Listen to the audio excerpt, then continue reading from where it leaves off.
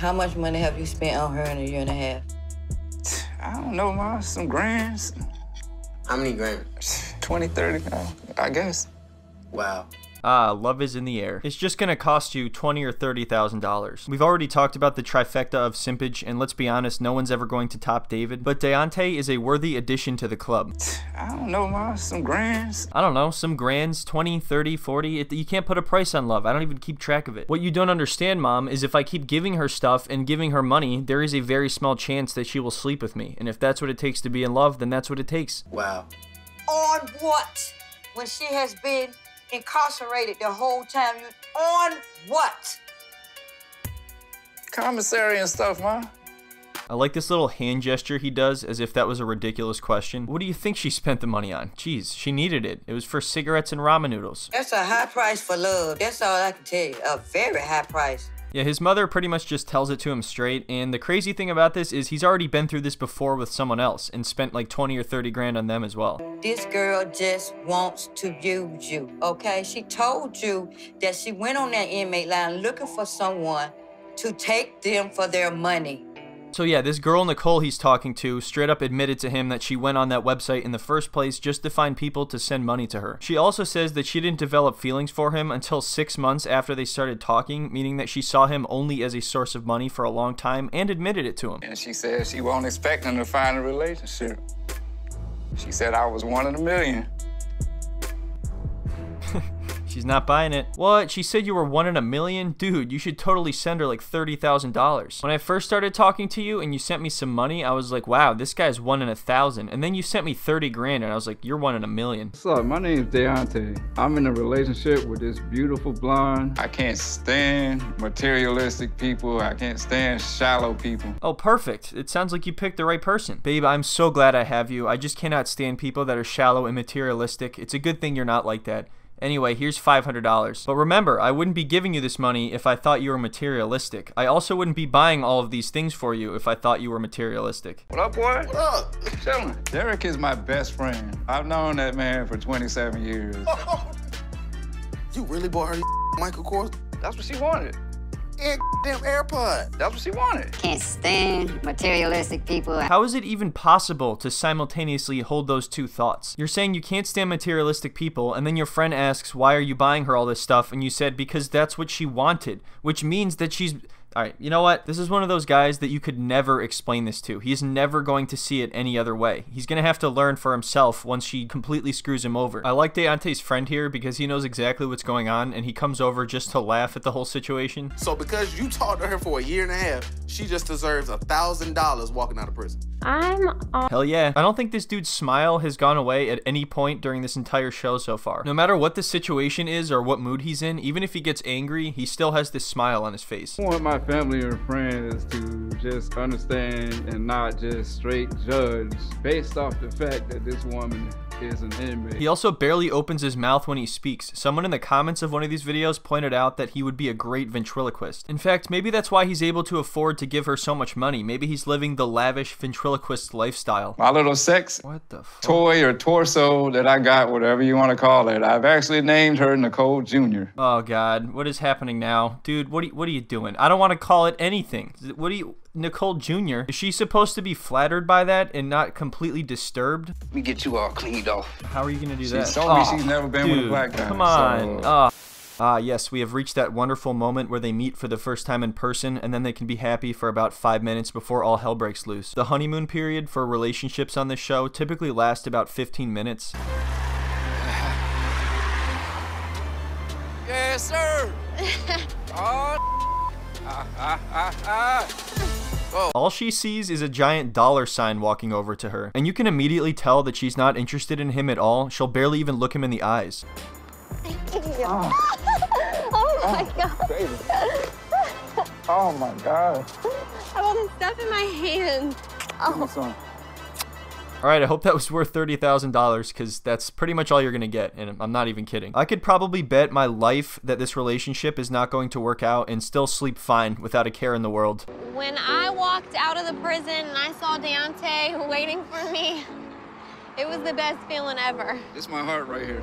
Straight up. I'd be pretty excited too if I was about to get $1,000 and a bunch of free shit. So, I don't know if I'm gonna stay at your house tonight. Me you don't.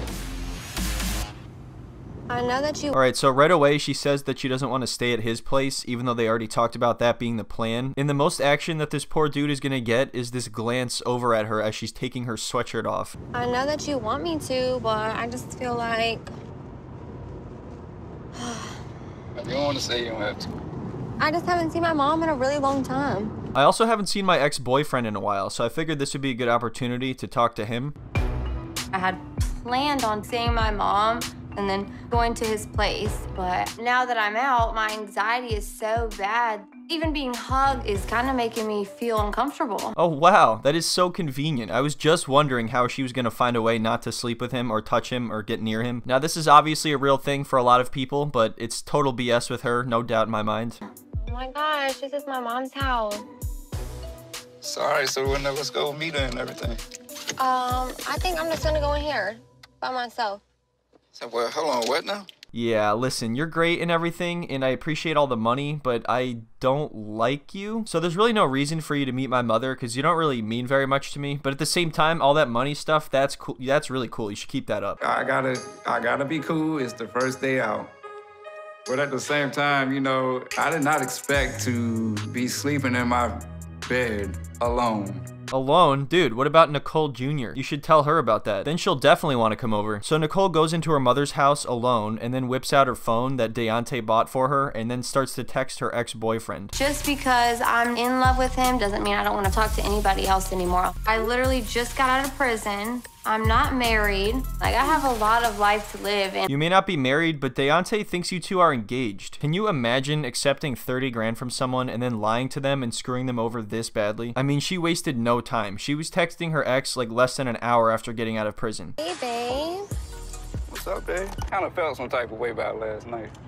About what? I didn't want to stay with you. Wow, she really looks like she cares about what he's saying. Listen, dude, you hooked me up with this phone and, and you expect me not to use it and not to text my ex-boyfriend? That's on you, you know? The respect you got for me as a man, the respect you got for our relationship, and it's just gonna be what it is, and I just keep it in the back of my mind. Are you done?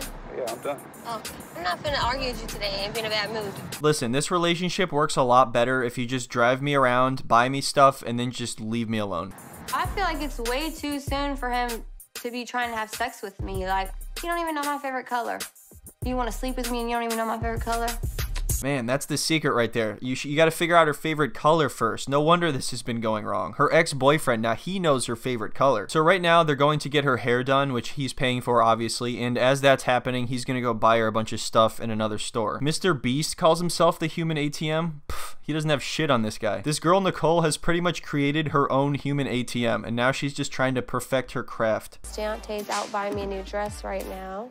Is he? He bought me a bunch of gifts too. He bought me two Michael Kors watches, three pairs of Jordans.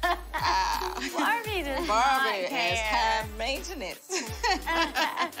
I can't stand materialistic people. So, what do you think of Daonte as like a person though? Like what are what do you like about him? Wait, I don't understand. Were you not listening? He gives me stuff. So people when they get together in relationships typically like things about each other. What do you like about Daonte? Uh, let's see. Hmm. Um Hmm. Uh uh, I can't stand material. I like the fact that he can't stand shallow or materialistic people. He has no tolerance for that. Like, what do you think he wants in return? I mean, I know what he wants in return, but he's not gonna get it. God, she makes this guy look so bad on this show. This is really embarrassing. I, I gotta, I might have to end this. I was like very committed to Daonte. But like right before I got out, I did end up like sleeping with a girl.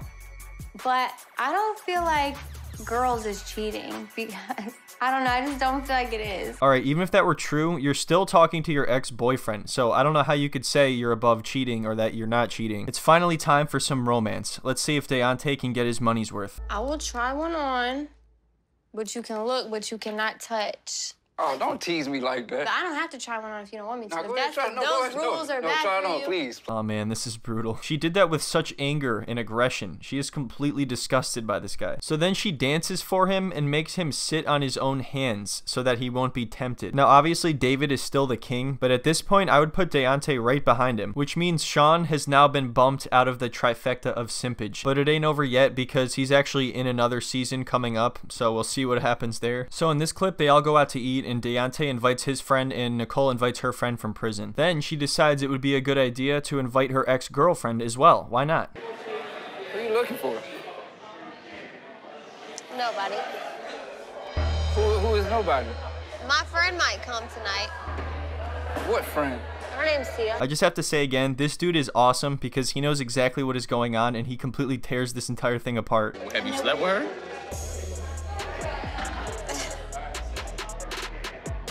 I had to go to the bathroom. No, you need to answer that damn question. All he had to do was ask one question to completely throw her off. One question that Daonte never bothered to ask. know that.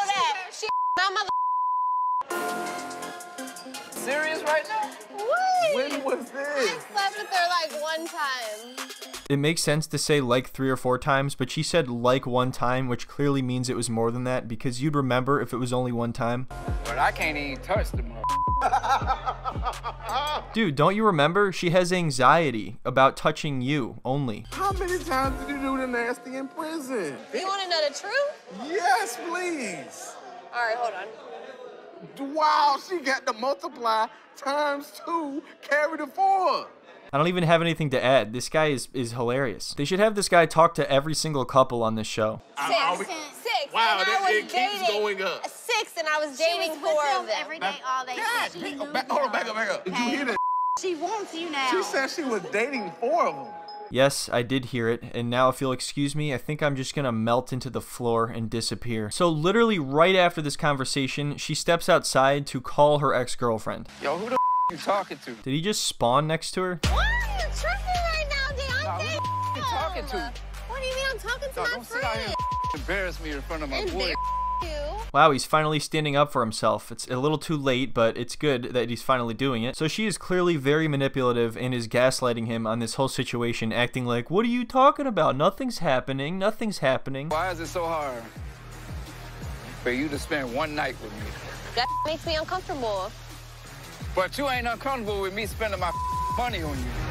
Oh shit. You two are supposed to be in love, and she's uncomfortable to spend a night with you. Now, if there was some sort of experience or reason as to why she felt that way, it would make sense, but clearly she's saying that only with you. Alright, so the next clip we're gonna look at is when he finally meets her mother. Hello? Oh, hey. I like how he just appears there, staring blankly. Come in. This is Okay. Daonte. Hello. Hello. How are you, sir? I'm fine. How are you? Fine. You look a little scared. Uh, Yeah, I don't know why he came in that way and was just staring without breaking eye contact at all. yeah, I am nervous as all hell. She's got that mom teacher stare where she stares into your eyes. Looked like you were the one staring. I don't know, maybe she was staring too. I don't know, you guys are all just staring at each other, and Nicole's over there staring at the phone that Daonte paid for. Don't talk about me. Well, first off, I know it's kind of weird how I uh, how I met Nicole, um, who goes online and looks for prisoners for love, right? Wow, you're making a really good pitch for yourself right there. I love Nicole, and um, I don't know if she told you, but we're we're engaged. She didn't tell her because apparently Nicole didn't even know they were engaged. Now, she could be lying, but I could also see how Daonte would think they were engaged based on some sort of misunderstanding. Oh gosh, she didn't tell you. Y'all are engaged. Well, if by engaged you mean I give her money and then she talks to other people behind my back, then yes. Alright, so the next clip we're going to look at, Daonte and Nicole get into a huge argument about, well, you will see. What's that? My boob appointments. I got the price sheet right here. Don't act mad because you literally know that boobs are thousands of dollars. Oh boy, here we go again. She won't even touch you, yet she wants you to buy her fake boobs so other people can touch them. Please, Daonte, I'm losing my sanity here. We've talked about this before. This is actually really cheap, $6,000. Because guess what?